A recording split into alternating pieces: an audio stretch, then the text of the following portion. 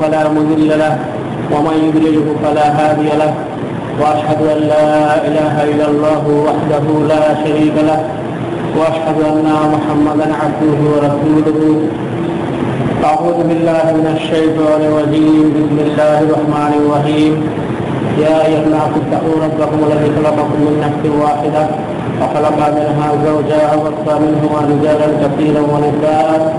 واتقوا الله الذي تسالون به والأرحام. إن الله كان عليكم رقيبا. يا أيها الذين آمنوا اتقوا الله حق تقاته ولا تموتن إلا وأنتم مسلمون. يا أيها الذين آمنوا اتقوا الله وقولوا قولا سديدا. يصلح لكم أعمالكم ويغفر لكم ذنوبكم. ومن يطع الله ورسوله فقد فاز فوزا عظيما. أما بعد خير الحديث كتاب الله وخير الهدي هدي محمد صلى الله عليه وسلم وشر الأمور محدثاتها وكل محدثة بدعة وكل بدعة ضلالة وكل ضلالة في النار. قال الله تعالى في كلامه المجيد أعوذ بالله من الشيطان الرجيم. أينما تكون يدرككم الموت ولو كنتم في بروج مشيدة إلى اخر الايات সমস্ত প্রশংসা, সমস্ত তারিফ সেই মহানবুল আলমীর জন্য, যিনি আমাদেরকে তার অনুগত বান্ধা হিসাবে কবুল করেছেন এবং তার ইবাদত করার সম্মতি প্রদান করেছেন, তার প্রশংসা আমরা বলি আলহামদুলিল্লাহ। অতপর আমরা যে দিন ইসলামের মধ্যে অন্তর্ভুক্ত হয়েছি যে দিন আল্লাহ তালার মনোনীত পৃথিবীতে বিভিন্ন রাস্তা, বিভিন্ন মত, বিভিন্ন পথ, বিভিন্ন ধর্ম, তার মধ্যে একমাত্র আল্লাহর মনোনীত হচ্ছে দিন ইসলাম।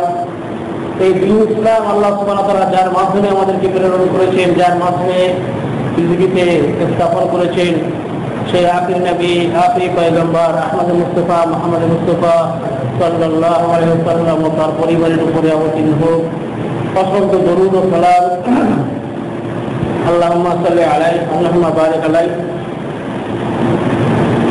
পবিত্র কোরআনের সুরানিটা আট নম্বর আটাত্তর পাঠ করেছি তারপরে অনেক হয়তো হয়তো আসতে পারে তো আজকে কেন্দ্র করে জুমার সংযুক্ত পূজা সমাপ্ত করার চেষ্টা করবে ইনশাআল্লাহ وما توفيق الا بالله رب اشرح لي صدري ويسر لي امري واحلل عقدة من لساني يفقهوا قولي তো আল্লাহ সুবহানাহু ওয়া তাআলা আমাদের যে জীবন দিয়েছেন তো এই জীবনের সঙ্গে মৃত্যু জড়িত, যার জন্য আল্লাহ ওয়া তাআলা জীবনের আগে মৃত্যু লিখেছেন। জীবনকে প্রদান করার আগে আগে তিনি প্রত্যেকটা মানুষ এবং জিন জাতি, আল্লাহ সুবহানাহু ওয়া দুটি জাতকে সৃষ্টি করেছেন। পৃথিবীতে অসংখ্য অগণিত মাহলুকা অগণিত জীব, এক একটা জীবের ভিতরে দেখবেন বিভিন্ন প্রকার। তার মধ্যে হিংস্র প্রাণী আছে, মনোমুগ্ধকর প্রাণী আছে, অনেক রকম আছে, কিন্তু আল্লাহ সুবানা কারোরই হিসাব নিকাশ গ্রহণ করবেন না। কারোর জন্য জান্নাত বা জাহান্নাম নির্ধারিত নয়। একমাত্র দুটি সম্প্রদায় যাদেরকে ইবাদতের জন্য সৃষ্টি করা হয়েছে, আল্লাহ সোহানা তাদের জন্যই জান্নাত এবং জাহান্নাম নির্ধারিত করেছেন। তো সেই জাতি দুটি হচ্ছে জিন এবং মানুষ। আল্লাহ বলেন আমার ফলাকুল জিন্না ওয়াল ইনসা ইল্লা আবুদুল আমি সৃষ্টি করেছি জিনকে এবং মানুষকে, একমাত্র আমার উদ্দেশ্য হচ্ছে তাদেরকে সৃষ্টি করা, আমার ইবাদত করার জন্য। এছাড়া বিভিন্ন যে জাতি, বিভিন্ন সৃষ্টি রয়েছে, এগুলো ওই জিন এবং মানুষের তাবে করে দেওয়া হয়েছে। বিশেষ করে মানুষের তাবেতে করে দেওয়া হয়েছে, যত হিংস্র প্রাণী, যত শক্তিশালী প্রাণী হোক না পৃথিবী সকলকে সৃষ্টি করা হয়েছে, মানুষের কোনো না কোনো ভাবে মানুষ তার দ্বারা উপকৃত হয়। তো এই যাদেরকে সৃষ্টি করেছে, একমাত্র ইবাদতের জন্য কালকে আমাদের দিন তাদেরকেই ওঠানো হবে, তাদেরই হিসাব গ্রহণ করে, করা হবে, আর তাদের জন্যই হিসাব নিকাশের পর নির্ধারিত হবে স্বর্গ বা নরকি বা জান্নাত বা জাহান্নাম।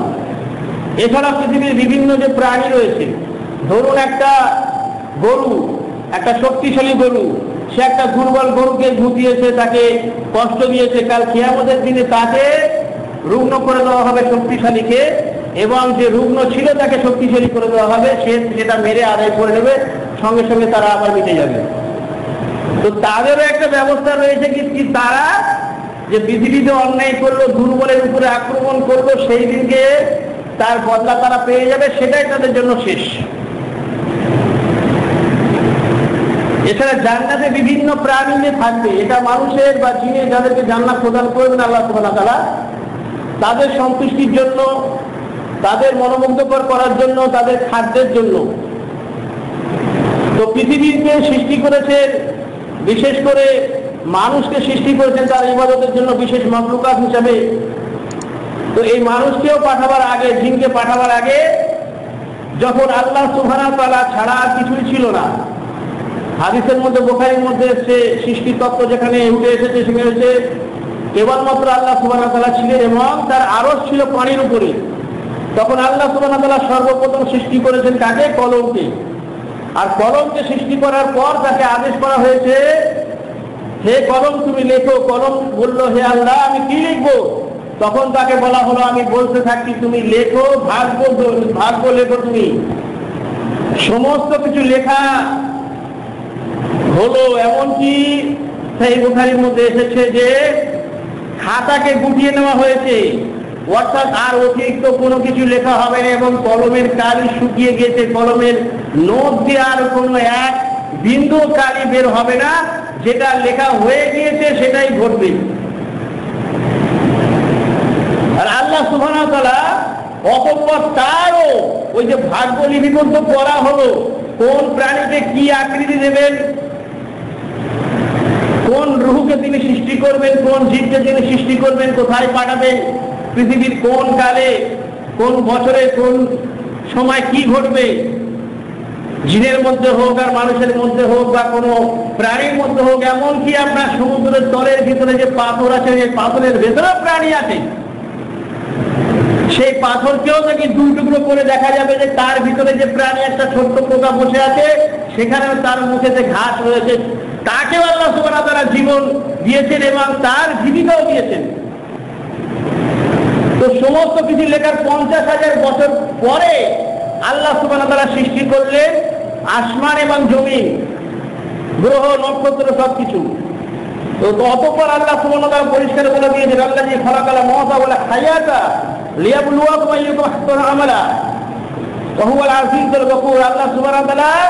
মৃত্যুকে এবং জীবনকে সৃষ্টি করেছেন। মৃত্যুকে এবং জীবনকে সৃষ্টি করেছেন এই জন্য যে তোমাদের যে পৃথিবীর বুকেতে প্রেরণ করা হচ্ছে, সেই পৃথিবীর বুকেতে গিয়ে তোমরা এই যে মৃত্যু সৃষ্টি করা হয়েছে, তারপরে তোমাদেরকে জীবন দেওয়া হচ্ছে। এই জীবন তোমরা অতিবাহিত করবে নির্ধারিত সময়। নির্ধারিত ঘন্টে যখন পৌঁছে যাবে, সেই মিনিটে, সেই সেকেন্ডে পৌঁছে যাবে। সেই পর্যন্ত তোমরা জীবনকে যে তোমরা যে সফল থাকবে, তোমরা সবল থাকবে, সেই পর্যন্ত তোমরা কতকে ভালো কাজ করে আসতে পারো?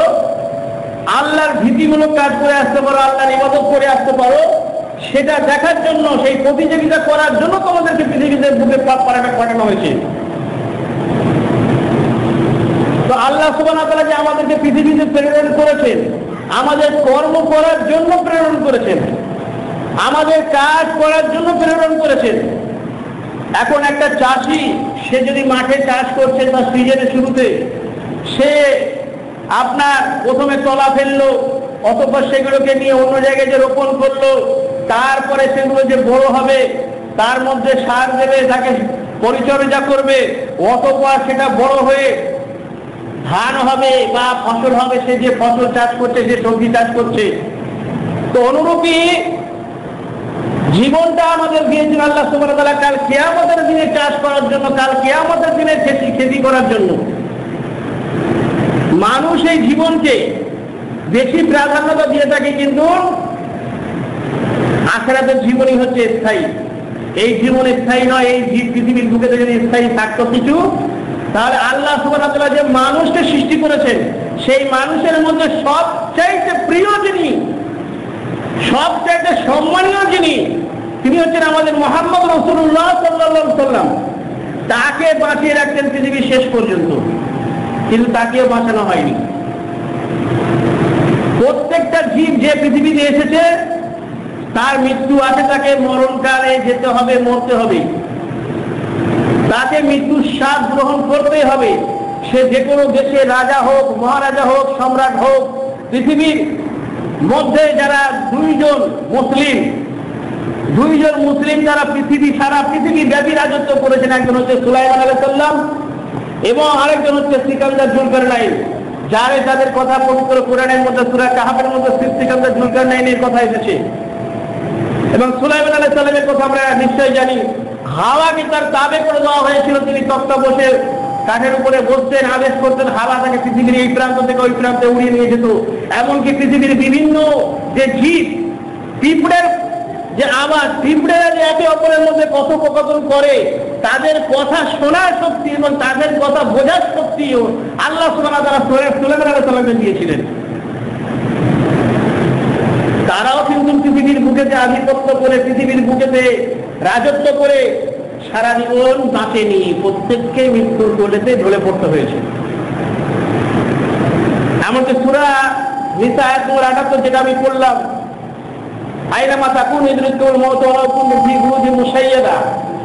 তোমরা পৃথিবীর যে কোনো প্রান্তে থাকো না কেন, তোমাদেরকে মৃত্যু ধরে ফেলবেই যদিও তোমরা বিরাট অট্টালিকার মধ্যে একদম বন্ধ করে না অট্টালিকা যে মৃত্যু প্রবেশ করতে পারবে না, সেখানেও তোমাদেরকে মৃত্যু ধরে ফেলবে। এ প্রসঙ্গে মহানবী সাল্লাম থেকে পূর্বেকার এক ঘটনা পাওয়া গিয়েছে, যেখানে বলা হয়েছে একটা সম্রাট ছিল, সেই সম্রাট যখন বৃদ্ধ হয়ে গেল অতপর, তার কোনো ছেলে ছিল ছিল না, সন্তান ছিল না, পুত্র সন্তান ছিল না, তার কন্যা সন্তান ছিল, অতপর সে যখন গর্ভবতী হলো, তার যখন আবার সন্তান প্রসব হচ্ছে, সেও কন্যা প্রসব করছে। সেও কন্যা সন্তান প্রসব করছে। অতপর যে ভাতৃ আছে, ভাতৃ একটা যুবক ছেলে ধরুন তার আনুমানিক বয়স আঠারো বছর সতেরো বছর এরকম হবে। তো সে বাড়ি থেকে বের হয়ে সেখানে সেবা করতেন বা বাচ্চাদের সেবা করতে, রাজাদের সেবা করতে বাড়ি থেকে বের হয়ে সামনে গিয়েছে, একটা অপরিচিত ব্যক্তিকে দেখতে পেয়েছে। সে বলল, ভিতরে কি হয়েছে? ওই যে মহিলার কি হয়েছে? কন্যা না পুত্র?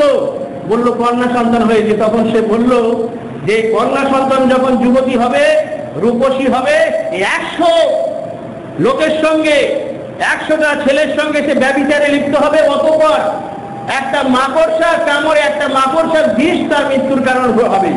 তখন সে চিন্তা করছে, আরে, এ তো এক্ষুনি এইটুকু এইটুকু বাচ্চি এই যদি বড় হয়ে এরকম বিপদ হয়, এরকম ঝেনাকার হয়, ব্যবচারী মহিলা হয়, তাহলে এক্ষুনি মেরে ফেলা ভালো। তো তার মৃত্যু নেই, তাকে মারতে পারবে না। অতবার সে কি করল? একটা বড় ছুরি নিয়ে গেল। নিয়ে গিয়ে মেয়েটার পেটকে ফেরার পালিয়ে গেল সেখান থেকে। যে ধরে ফেলল তো আমাকে শাস্তি দেবে। অতপর সেখান থেকে সে পালিয়ে গেল। তার মা এর অবস্থায় তাকে দেখে ফেলে তাড়াতাড়ি করে চিকিৎসকদের ডেকে তার পেটটাকে সেলাই করে দিল। সে মরল না, বেঁচে গেল।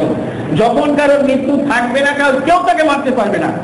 যেমন সাহাবে গ্রামদের যে ঘটনা রয়েছে, খালিদ বিন ওয়ালিদ, আমরা নাম শুনেছি যে খালিদ বিন ওয়ালিদ অগণিত যুদ্ধে অংশগ্রহণ করেছেন। অনেক কাফেরকে তিনি তরবারি দ্বারা জাহান নামে পাঠিয়েছেন। তার কিন্তু আশা ছিল যে, হয়তো আমি কোনোদিন যুদ্ধ করতে করতে আল্লাহ হয়তো আমাকে শহীদে মৃত্যু দান করবেন। এই নিয়তটা থাকা জরুরি। যদি আপনার নিয়ত থাকে যে আমাকে আল্লাহ শহীদে মৃত্যু দান করুক, আপনি বিছানায় মারা গেলেও আপনি শহীদ হয়ে মরবেন। আপনি শহীদের মর্যাদা পাবেন। তো খালিদ বিন ওয়ালিদ কিন্তু কোনোদিন যুদ্ধে পরাস্ত হয়নি। এমনকি পরাস্ত হয়ে যাবার কোন রকমের ঘটনা যখন ঘটে, তিনি তিনি বেঁচে গেছেন। তো তাকে মারতে পারেনি, তার মৃত্যু হলো বাড়ির বিছানায় শুয়েছে। তো সেই নারীর কথা যে বলছিলাম, সেই নারী বড় হলো। অতবার এই যে যুবক পালিয়েছিল, এই যুবক যে পালিয়েছিল, অন্য দেশে পালালো। সেখানে সে কার কারবার অন্য কিছু করে সে বড় লোক হলো। অতপর যখন তার পঁয়ত্রিশ, ছত্রিশ বছর বয়স হলো, তখনও বিবাহ করেনি। তখন আবার দেশে ফিরে এলো এইদিকে। জানে যে সেই যে রাজার মেয়েকে, রাজার বাচ্চার মেয়েকে যে আমি পেট ফেড়ে গেছিলাম, সেটা তো ভুলে গেছে, সে তো চলে গেছে যার নামে তাকে পাঠিয়ে দিচ্ছে শিশু সন্তান মারা গিয়েছে। তো এসে তখন এই ব্যবসায় প্রতিষ্ঠা হয়েছে ঘর বাড়ি করে সে বিয়ের জন্য কন্যা তালাশ করতে লাগল। এমন অবস্থায় সেই মেয়ের সঙ্গেই তার বিয়ে হচ্ছে। যে মেয়েকে সে পেট ফেড়ে পালিয়েছিল, সেই রূপসী মেয়ের সঙ্গেই তার বিয়ে হচ্ছে। বিয়ে যখন হচ্ছে, তার আগে ওই যে স্বামীকে গ্রহণ করছে, তার আগে নিরানব্বইটা পুরুষের সঙ্গে সে জেনা করে নিয়েছে। তার স্বামীকে যে গ্রহণ করছে, সে হলো একশোতম পুরুষ। তো স্বামী স্ত্রী রাতের বেলা গল্প হচ্ছে তো গল্প হতে হতে এত সুন্দরী, সে তো তার প্রেমে একদম বিবর হয়ে গিয়েছে। যে তুমি কোথা ছিলে, কোথাকার লোক এখানে এসে যে আমাকে বিয়ে করলে?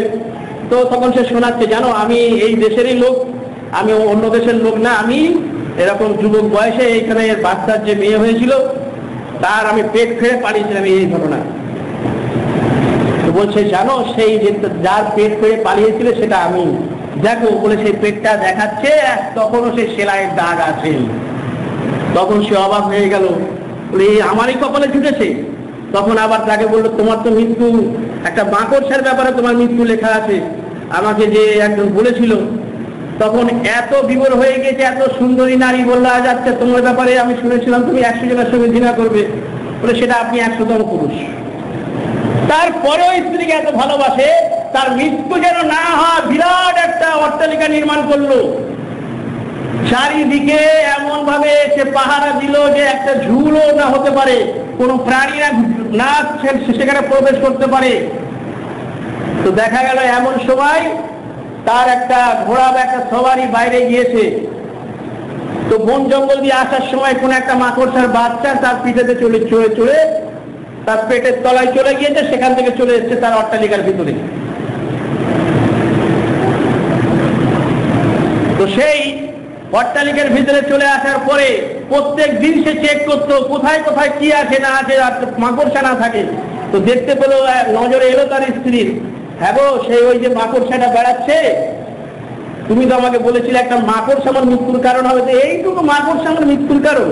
আর সেটা ছিল মাকড়সার মধ্যে অনেক প্রজাতি আছে। এমন বিষাক্ত মাকড়সা যে তার আঠাও যদি কোথাও লাগে, সেটাও মানুষের জন্য মৃত্যু হয়ে দাঁড়ায়। তো কি করল তার স্ত্রী? মাকড়সাটাকে ঝাড়ু দিয়ে ফেলল, ফেলার পরে তাকে পা দিয়ে ভালো করে মচলে দিল, মারা গেল। কিন্তু তার যে মারলো তাকে, তার যে আঠা তার যে পায়ের ভিতরে একটা আঘাত লেগেছিল, সেই আঘাতের সঙ্গে তার আঠাটা জড়িত হয়ে গেল, সেই তার বিষ, তার শরীরে চড়ে সে মৃত্যুবরণ করল।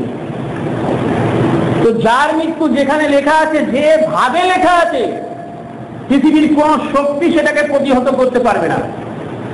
যার জন্য মহানবী সাল্লাহ সাল্লাম বলেছেন, তোমরা মৃত্যুর জন্য প্রত্যেক দিন প্রস্তুত থাকো যে আজকে আমি যে সকালবেলা যে আমার চোখ খুলছে, হতে পারে আমার সন্ধ্যা সন্ধ্যা যে সূর্য ডোবা আমি দেখতে পাবো না, অন্ধকার আমি দেখতে পাবো না। আমি অন্ধকারে প্রবেশ করেছি, রাতের বেলা রাত হয়ে গিয়েছে, সূর্য ডুবে গিয়েছে। আগামীকালে সূর্য যে আমার জন্য উঠবে, কালকে যে সূর্য উঠবে, সেটা আমি দেখতে পাবো না। তো প্রত্যেকটা দিন তোমাকে ধরে নিতে হবে যে আমার জীবনের শেষ দিন। কারণ মৃত্যু কার মৃত্যু, কখন, কোথায় ঘটবে? পৃথিবীর আজ পর্যন্ত কোনো ভবিষ্যৎবাণী এরকম কিছু হয়নি। মানুষ কারণ বলে দিতে পারে, যারা বলৎকার তারা কারণটা বলে দিতে পারে। কিন্তু তারা নির্ঘণ্ট সময় নির্ধারণ করে বলে দেওয়ার ক্ষমতা আজ পর্যন্ত কারও হয়নি। কিছু দূরদর্শী চিকিৎসক আপনাকে বলে দিতে পারে যে ওই রুগীটা আপনার তিন মাস বাঁচবে বা চার মাস বাঁচবে কিন্তু তিন মাসে এবং তিন মাসের পরে কোন দিন, কোন ক্ষণে, কোন সময়, কোন মিনিটে, কোন সেকেন্ডে সে মারা যাবে সেটা বলতে বলার ক্ষমতা নেই। তো মৃত্যুর জন্য আমাদেরকে সদা সর্বদা প্রস্তুত থাকতে হবে। মৃত্যু প্রত্যেক ব্যক্তিরই ঘটবে।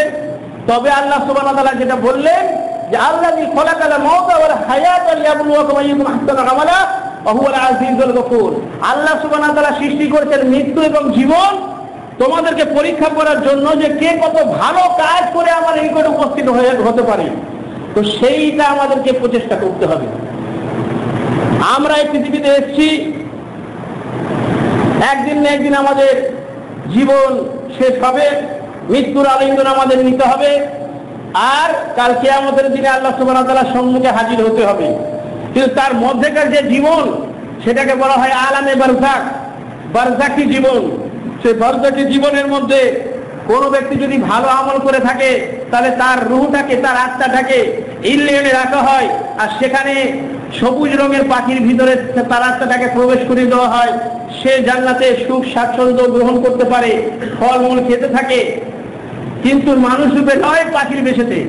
আর সে তাকে প্রত্যেক দিন সকালবেলা, প্রত্যেক দিন সকালবেলা তাকে সকাল এবং সন্ধ্যা হাদিসের মধ্যে পরিষ্কার বোখারি দেয়, প্রত্যেক দিন সকাল এবং সন্ধ্যা ফেরেস্তারা তার যে চিরস্থায়ী বাসস্থান হবে কেয়ামতের দিন হিসাব নিকাশের পরে জান্নাত সেটা দেখাতে থাকে যে তোমার হিসাব নিকাশের পরে ওই ঘরটা হচ্ছে, ওই জান্নাত হচ্ছে তোমার চিরস্থায়ী আবাস হবে। আর যদি কারও আত্মা খারাপ হয়, পাপাচারী হয়, তাহলে তাকে অনুরূপ সিজ্জিনিতে নিক্ষেপ করা হয়, যেখানে জাহান নামের তাপ জাহান নামের উত্তাপ জাহান নামের যে শাস্তি, সে ভোগ করতে থাকে, সাপের কামড় হোক, বিচের কামড় হোক, সে ভোগ করতে থাকে, আর প্রত্যেক দিন সকাল সন্ধ্যায় তাকে তার চিরস্থায়ী আবাসস্থল যেটা হবে, কেয়ামতের হিসাব নিকাশের পরে যেটা হচ্ছে জাহান নাম সেটাকে দেখে দেখায়। যার জন্য বলা হয়েছে যে কবর হচ্ছে আমাদের প্রথম ধাপ। দ্বিতীয় খলিফা উসমান রাজিয়াল্লাহু আনহু যখন কোন কবরস্থানের পাশ দিয়ে অতিক্রম করতেন, দাঁড়িয়ে যেতেন। দাঁড়িয়ে যেয়ে তিনি এত কাঁদতেন এত কাঁদতেন যে তার দুই চোখ দিয়ে অস্ত্র বয়ে গিয়ে তার দাড়ি ভিজে টপটপ করে তার চোখের অস্ত্র দাড়ি বেয়ে টপটপ করে পড়তো। তো অন্যান্য সাহাবাই গ্রামে তাকে বলতেন, হে আমিরুল মোমেনিন, আপনি কবরস্থান দেখলে বা কবরস্থানের পাশ দিয়ে অতিক্রম করলে এরকম কাঁদেন কেন? তো তিনি বললেন, আল্লাহ রসুল সাল্লাম বলেছেন, কবর হলো আমাদের প্রথম ধাপ। যে ব্যক্তি সেখানে উত্তীর্ণ হয়ে গেল, সেই ব্যক্তি কি আমাদের দিনও উত্তীর্ণ হয়ে যাবে। সেই ব্যক্তি পুলসিরাতে উত্তর উত্তীর্ণ হয়ে যাবে। সেই ব্যক্তি জান্নাত অবশ্য হবে আল্লাহ তোমার তার রহমত পাবে। আর যে ব্যক্তি সেখানে ধরা পড়ে গেল, সেখানে ফেল হয়ে গেল, কেয়ামতের দিন হিসাব নিকাশেও সে ফেল হয়ে যাবে। পুলসিরাতের যে পার হতে হবে পুলসিরাতের পুল পার হতে হবে, সেখানেও সে ঘায়ল হয়ে পড়ে যাবে জাহান নামের মধ্যে। অতএব কবরই হচ্ছে প্রথম ধাপ, যার জন্য আমার কবরকে দেখলে আমার মন কেঁপে ওঠে, দুর্বল হয়ে যায় আমি। তো কবরই হচ্ছে প্রথম ধাপ। আর সেই কবরটাকে আমাদের সঠিকভাবে দিতে হবে। আজকাল দেখা যায় অনেক জায়গায় কবর দেয়। কত রকমের কিছু করে। কবরের মধ্যে আপনার এখন অনেক জায়গায় দেখছি, কিছুদিন আগেও মেডেব্রুজে যে কবরস্থানে গেছিলাম, সেখানে দেখলাম পাশে একটা বিলাসীর কবর হচ্ছে, কবরের ভিতরেও ফুল দিচ্ছে।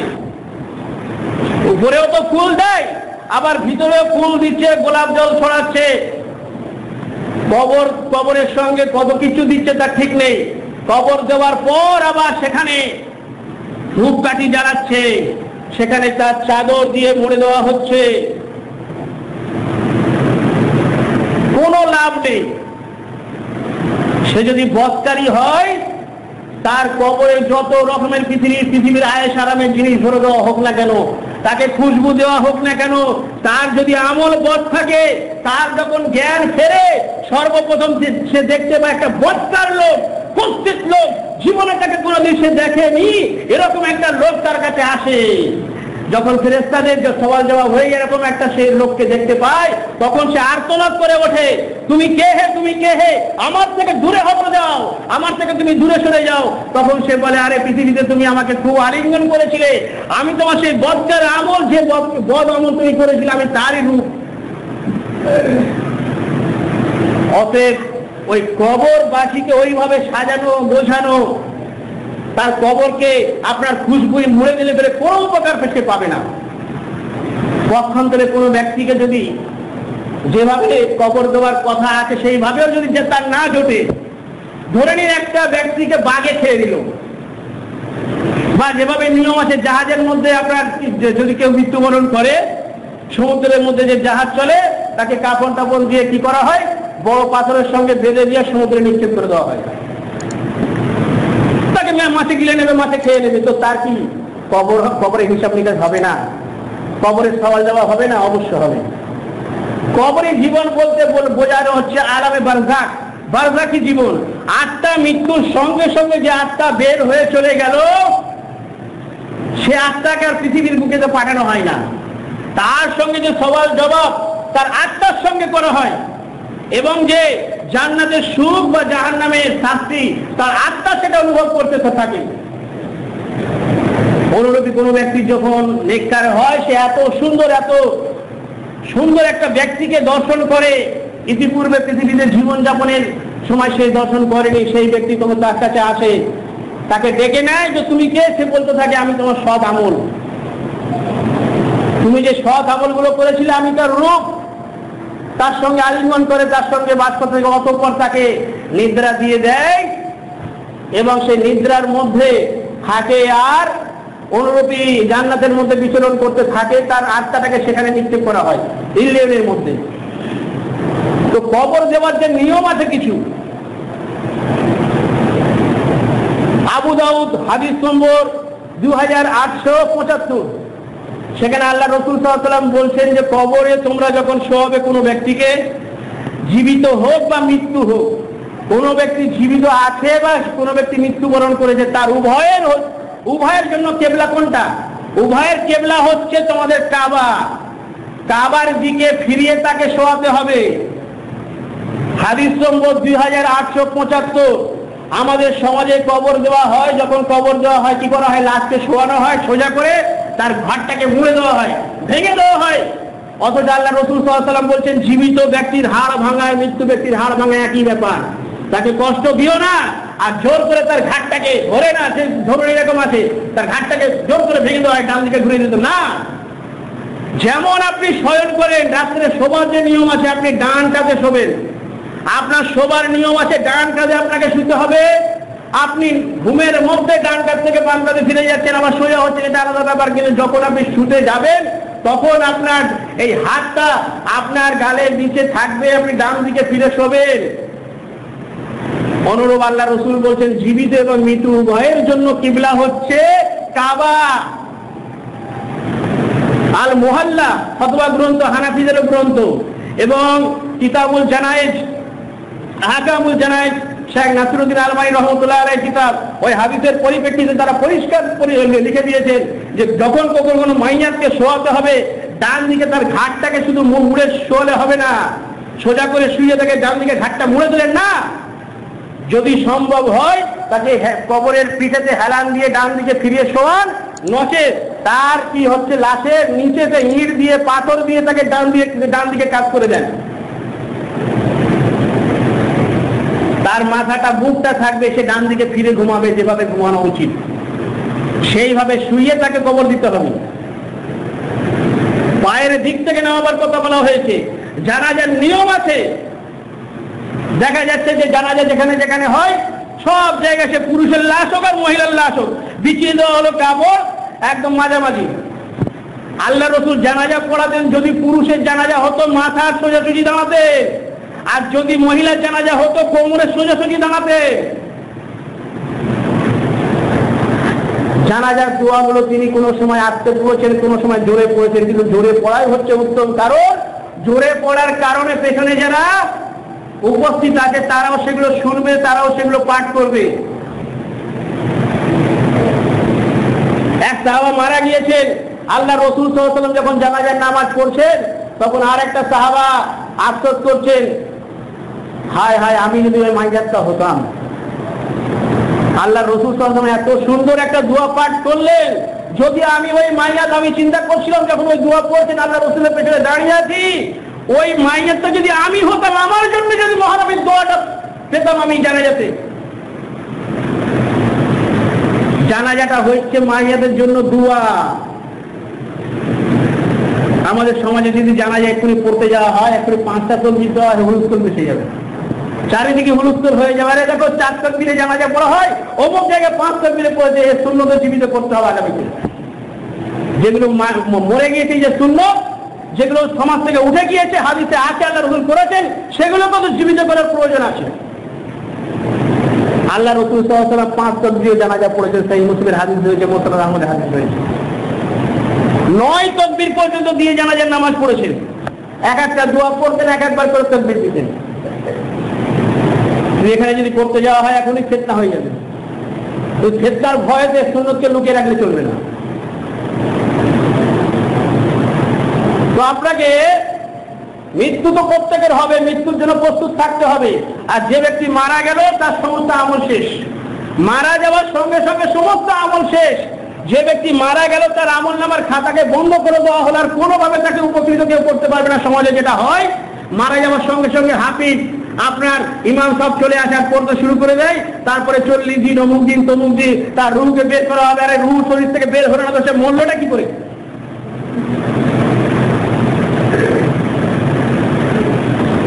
তো সমাজের মধ্যে অনেক কিছু আছে রীতিনীতি। সে সমাজের দিকে তাকালে চলবে না, আল্লাহ রসুলের সুন্নতের দিকে তাকাতে হবে। ইবনে মাজা হাদিস পনেরোশো পঁয়ষট্টি, আল্লাহ রসুল সাল্লাম মাইয়াকে একটা মাইয়াদের মাটি দিলেন। কিছু লেখা নেই, কি পড়লেন? কিছু লেখা নেই।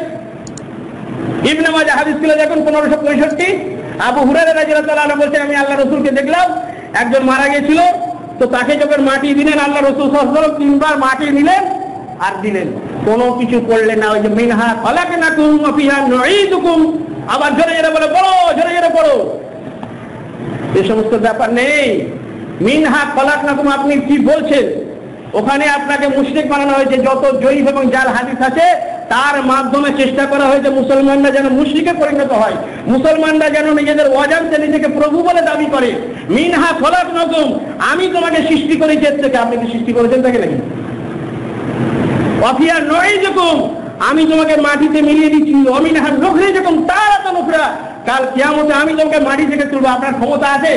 কাউকে সৃষ্টি করার, আপনার ক্ষমতা আছে কাউকে মাটিতে মিলিয়ে দেওয়ার, আপনার ক্ষমতা আছে কাউকে তোলার। হাদিস আছে এটা মুসনাদে আমাদের হাদিস আছে, সেই হাদিসের মধ্যে আটজন রাবি আছে, আটজন রাবির মধ্যে একজন হচ্ছে চরম মিথ্যাবাদী, আর দুইজন রাবি হচ্ছে চিটিংবাজ, বেইমান বাটপার যাদের জন্য হাদিসটাকে জার বলা হয়েছে। তো আমাদেরকে অনেক কিছু জানতে হবে, শুধু সমাজের মধ্যে চলে আসছে, এখানে কেন হয় না? এখানে নতুন করে করা হচ্ছে। আরে প্রশ্ন করার আগে জানো যে এটা যে করা হলো আছে কিনা? নিশ্চয় এটা আমার না জানা থাকতে পারে। আমার না জানা থাকতে হবে, পারে কিন্তু আমি প্রশ্ন করার অধিকার নেই নেই আল্লাহ সুবাহ যেন আমাদেরকে সঠিকভাবে জানার তৌফিক দান করেন এবং সেগুলোকে মারারও সমতি প্রদান করেন। আমি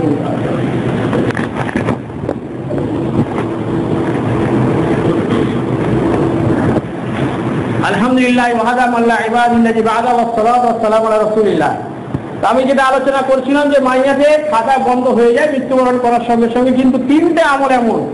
আল্লাহ রসুল বলেন, তিনটে আমল এমন, যদি সে করে গিয়ে থাকে তাহলে যতদিন পর্যন্ত তার করা কাজটা জারি থাকবে, মানুষ তার দ্বারা উপকৃত হবে, সে নেকি পেতে থাকবে। প্রথম হলো সাতটায় জারিয়া। সাতটায় জারিয়া হচ্ছে কোনো মসজিদ নির্মাণ করা, মাদ্রাসা নির্মাণ করা কোনো রাস্তা করে গেল, কোনো কল নির্মাণ করল, কুয়া খুলে দিল, যার দ্বারা মানুষ পানি পান করছে উপকৃত হচ্ছে, মসজিদে দিয়েছে, মসজিদে নামাজ হচ্ছে, মাদ্রাসা নির্মাণ করে দিয়েছে, সেখানে পড়াশোনা হচ্ছে, ছাত্র তৈরি হচ্ছে যত দিন সেই সিলসিলা জারি থাকবে, সেই ব্যক্তি যে সহযোগিতা করেছে, সে ব্যক্তি কবরে শুয়ে সে দেখি পেতে থাকবেই দ্বিতীয়ত হলো নেক। জ্ঞান ছেড়ে যাওয়া ভালো ইন ছেড়ে যাওয়া ভালো, ছাত্র তৈরি করে যাওয়া। আপনি আলেম, আপনি লেখক, আপনি বক্তা আপনাকে ভালো বক্তা তৈরি করে যেতে হবে, ভালো আলিম তৈরি করে যেতে হবে, ভালো তালেবিলিম তৈরি করে যেতে হবে। তাদের যে সিলসিলাটা যতদিন জারি থাকবে, তার ছাত্র তার ছাত্র তার ছাত্র হতে থাকল, সেই নেকিটা সে পেতে থাকবে কবর শুয়ে শুয়েও তৃতীয় হলো নিজের নেক সন্তান। তারা পাঁচ অক্ট নামাজ পড়বে, তারা আল্লাহ সুবাহ তালার নিকটে হাত দিলে দোয়া করবে। তার পিতামাতার জন্য দোয়া করবে, তার পিতা পিতার মাঠের কামনা করবে। সেটা আল্লাহ সুবাহ তালা কবুল করে থাকেন। এক ব্যক্তিকে আল্লাহ রসুল সাল্লাম বলছেন, বাইহাকির হাদিস, এক ব্যক্তি যখন মৃত্যুর পরে সে ভালো মর্যাদা পেয়েছে, কিন্তু দিন দিন দেখা যাচ্ছে তার মর্যাদা বাড়ছে। দিন দিন দেখা যাচ্ছে তার মর্যাদা বাড়ছে তো তাকে সে প্রশ্ন করছে ফেরেস্তাদেরকে যে আমার মর্যাদা তো এরকম ছিল, আরও বৃদ্ধি হচ্ছে কেন? তখন আল্লাহর পক্ষ থেকে বলা হচ্ছে, তোমার সন্তান, সন্তানদের নেক্সট সন্তান সন্তান ছেড়ে এসছো, তারা তোমার জন্য দান সৎকার করছে, তারা তোমার জন্য দোয়া করছে। সেই দোয়া আল্লাহ রসুল সাল্লাল্লাহু পরিষ্কার শিক্ষা দিয়েছেন। রব্বানা ফিরলি ওয়ালি ওয়ালিদাইয়া ওয়ালিল হিসাব। হে আল্লাহ, আমার অনেককে আমার অভিভাবকদেরকে তুমি ক্ষমা করো এবং তার সঙ্গে মুমিনদেরকে ক্ষমা করো এবং কাল কিয়ামতের দিনেতে তাদের হিসাব নিকাশকে তুমি সহজ করে দিও, আসান করে দিও। তো সেই দোয়া পাঠ করতে হবে। তাদের জন্য দোয়া করতে হবে। নেক সন্তান সন্ততি যদি যদি পিতামাতার জন্য দোয়া করে, এর চাইতে বড় কিছু পাওনা আর নেই। যদি সে সৎ আমল করে গিয়ে থাকে, তাহলে সেটা যে জারি থাকবে সত্তায় জারিয়া, এর চাইতে ভালো আমল আর কিছু নেই।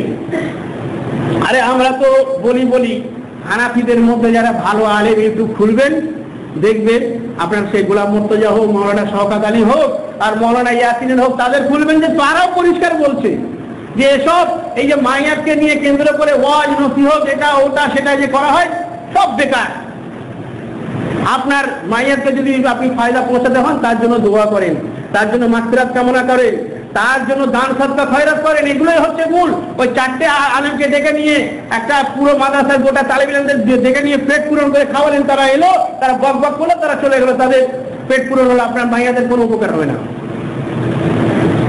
তাই মাইয়ারকে উপকার পাওয়ানোর জন্য তার জন্য দোয়া করতে হবে। দোয়াই হচ্ছে সবচাইতে বড় মাধ্যম।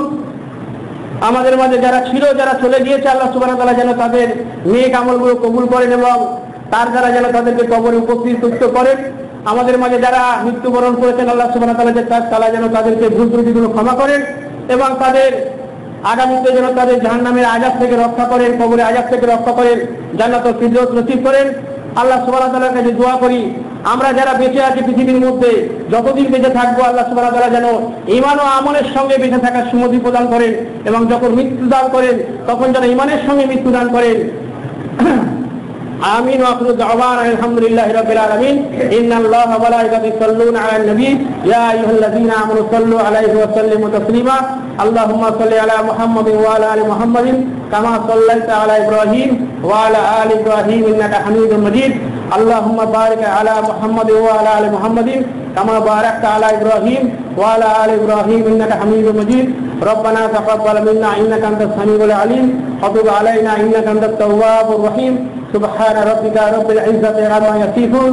وسلام على المرسلين والحمد لله رب العالمين.